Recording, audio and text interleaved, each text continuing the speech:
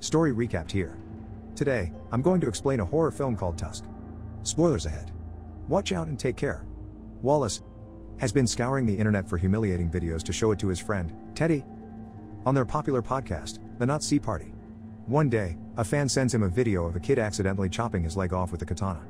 The video has since gone viral, and the boy has been dubbed as the Kill Bill Kid.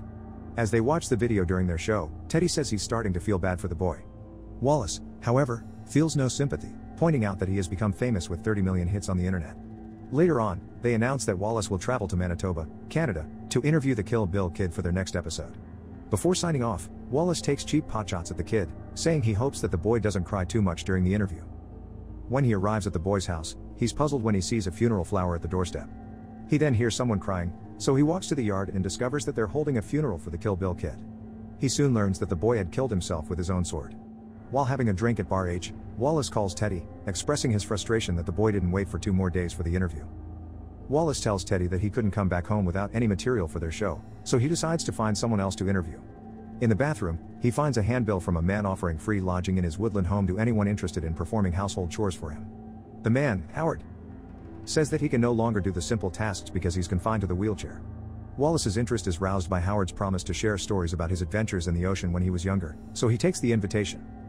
During a stop at a convenience store, Wallace calls Howard looking for his address.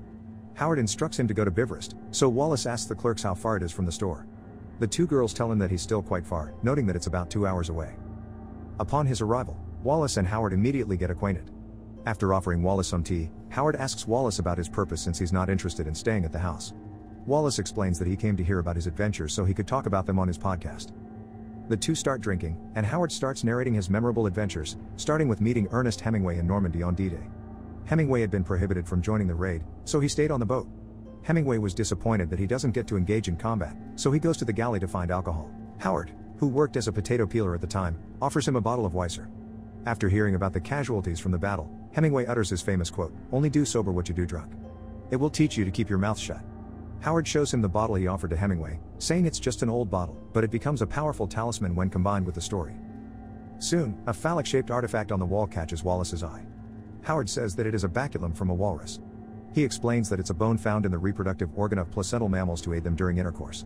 Howard contends that it's only proper to admire the walrus because it's one of the noblest creatures on the planet. When Wallace asks how Howard came across the artifact, Howard reveals that he once had a profound encounter with a walrus when he was lost at sea. He tells Wallace that the shipwreck happened on the southern coast of Siberia in 1959 when they were searching for the great white shark. They never found the shark because their ship collided with an iceberg. After the boat sank, Howard swam alone in the dark, terrified.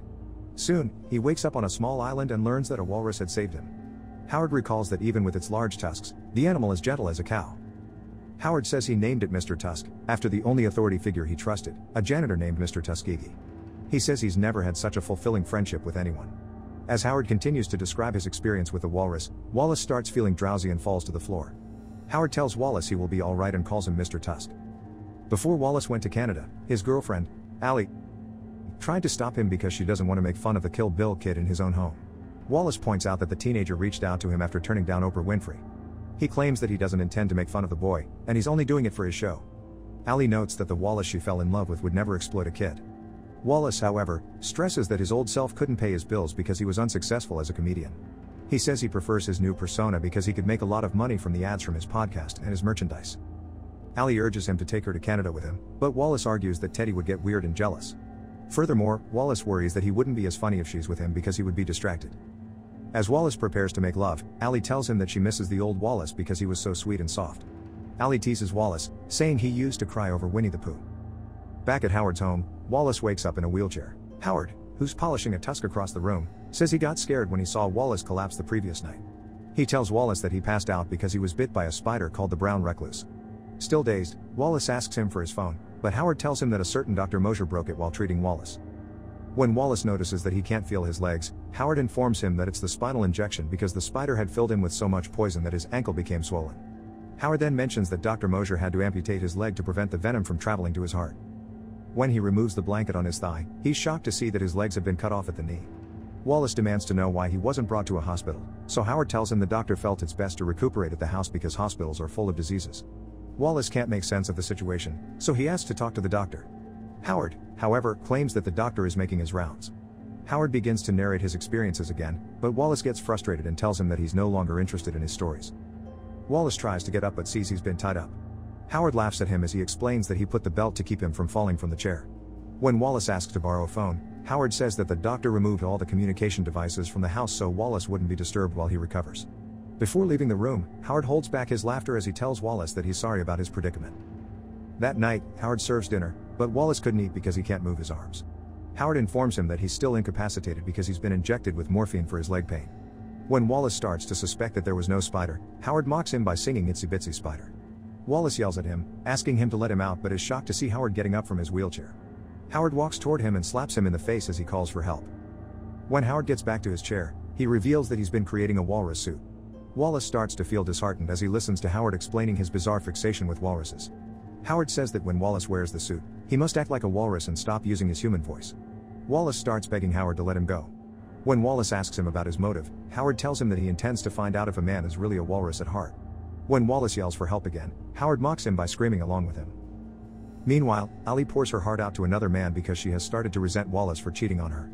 She stresses that she also hates herself for putting her life on hold for him. Ali cherishes the moments he spends with the man because he restores her every time Wallace destroys her. During the podcast episode before Wallace's trip to Canada, Teddy disclosed that he would be taking Ali to the Getty because Wallace is disinterested in art. When they sign off, Teddy mentions that Ali wants to go with him to Canada. But Wallace stresses that he doesn't want Ali around when he interviews the Kill Bill kid because he can't be himself if she's there. Wallace is irritated with Ali at times because she constantly berates him for doing mean comedy. Wallace then confesses that he wants to be with other women even though he finds Ali hot. He tells Teddy that he's going over to Ali's place to have intercourse with her before his trip. Back in Howard's house, Wallace hears his phone ringing, so he tries to follow the sound. As he reaches the phone, the ringing stops. He sees it's a missed call from Ali. Wallace calls her back, but she wouldn't answer, so he leaves a message. He whispers into the phone, asking Ali for help. Saying a man had abducted him and wants to turn him into an animal. Wallace tells her that he's really scared that he'll never see her again and apologizes for the way he treated her. Meanwhile, Teddy brushes his teeth and gets ready to spend the night with Ali. Wallace leaves Teddy a voice message to ask him for help as well. As Wallace gives Teddy details about his situation, Howard approaches him from behind and hits him in the head. Howard tells Wallace that his life as a human is over, and he'll have to become a walrus if he wants to survive. In the morning, Ali hears the voice message on her phone while she brushes her teeth. After learning that Wallace is in trouble, she wakes Ted up and lets him hear the message. When Ali looks at Teddy's phone, she learns that Wallace left a message for him as well. She returns Wallace's call, but he couldn't answer because Howard is performing an operation on him. Howard tells him that it's good to know that someone cares for him, recalling that the only one that ever showed him any affection was Mr. Tusk. He tells Wallace that he had been exploited when he was a young boy. He narrates that he was placed at an orphanage after his mother and father were killed by muggers in Montreal. Not long after, the children at the orphanages were sent to an insane asylum because a corrupt politician shut down the orphanages and reclassified them as mental health institutions to get funding from the government. During his five years at the asylum, he was beaten and tortured. He says that people at the asylum, including priests, politicians, and nuns, have forced themselves on him. When he was 15, he managed to escape from Canada and made his way to the US. When Howard finishes the operation on Wallace, his arms have been sewed to his torso, and his other leg has also been cut off. Meanwhile, Ali and Teddy alert the authorities about Wallace's abduction as they drive to Manitoba. In an underground room, Howard finishes fitting the walrus costume onto Wallace's body. Howard begins reciting poetry as Wallace screeches at him. Howard, speaking to Wallace as if he's Mr. Tusk, says he misses the time they spent together when he was shipwrecked at Ponder Rock. Howard recites another poem expressing his regret of leaving Mr. Tusk behind to be with humans again. He feels like he made a mistake going back, citing the atrocities humans commit against each other. Ali and Teddy track down Wallace by showing his picture at car rental companies. When they get to the police station, they let a detective hear Wallace's last message to them. The detective asks them if they're sure Wallace isn't pulling a prank, pointing out that they usually clown around in their podcasts. Teddy assures the cop that Wallace wouldn't go too far with his jokes. The detective is baffled by the part of Wallace's message where he says Howard had cut off his leg. He then recalls that a former detective from Quebec had recently asked him if they found legless bodies around their jurisdiction. The detective gives them the number of the former cop, Guy Lapointe, who had been hunting for a serial killer in Canada. Back at the house, Howard forces Wallace to learn to swim as a walrus by forcibly pulling him into the water with a remote control chain. Wallace manages to stay up in the water, but he couldn't stay afloat for long. At the bottom of the pool, Wallace is struck with terror when he discovers a human corpse in a walrus costume. In Manitoba, Ali and Teddy meet up with Guy, who has been hunting for Howard Howe for the last decade. He discloses that he sacrificed several marriages and even his sanity just to find Howard. He hasn't been sleeping well because of his obsession, but when Ali and Teddy contacted him, he finally slept like a baby because he now knows that he's close to catching Howard. Guy reveals that Howard has already killed 23 people, and the number could go up to 24 if they don't find Wallace soon. Guy says that Howard's MO has remained the same over the years. The authorities usually find the pieces of the skinned body a month after the victim's disappearance. The legs are always removed at the knees, and arms are sewed to the body. The victim's mouth and teeth are always mutilated, with their tongues ripped out. Guy explains that he strongly believes that he had met Howard a few years back while he was looking for a missing hockey player in Quebec. During the search, he came across a secluded cabin. When Guy approached the house, a man named Bartholomew Mosher asks him to kill a spider in his bathroom. Bartholomew, who speaks with a goofy voice, tells Guy that he called the police to deal with the spider. Guy, however, says the police did not send him, but he's looking for a hockey player named Gregory Gumtree. Before his disappearance, Gregory had seen an advertisement offering him a place to stay. Guy asks the man if he's seen anything suspicious on Monday night, but he tells him that he was at the rink running errands for a hockey team called the Little Mites. The man tells Guy that they usually go to a restaurant on Mondays. Before Guy leaves, Bartholomew asks him again if he's sure he's not there to kill the spider. Guy says he's not paid enough to deal with savage animals. Bartholomew responds by saying he thinks that the real savages are humans. Guy tells them that he has since discovered that there's no record of a man named Bartholomew Mosher, and there's no team called the Little Mites. He surmises that Gregory was probably at the house when he paid a visit. A month later, the authorities find Gregory's body clogging up a sewer pipe outside Gatineau. By that time, Bartholomew had already disappeared. Guy had been fired from the force because he challenged the theory that meat hooks caused the mutilation in the victims' mouths. He points out that Gumtree also had holes in the roof of his mouth, and the authorities found a tiny piece of his own tibia bone inside one hole. When Guy asks Gumtree's mother what she thinks happened to her son, the mother says that the killer is making a monster. Back at the house, Howard asks Wallace why he's still mourning the loss of his humanity. He explains that during his travels, he only found that humans are cruel. He tells Wallace that he's already tired from being battered by life and by fate.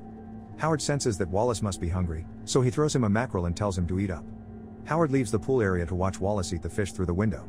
When Wallace finally takes a bite, Howard is satisfied that Wallace seems to be adapting to his life as a walrus, so he leaves him alone.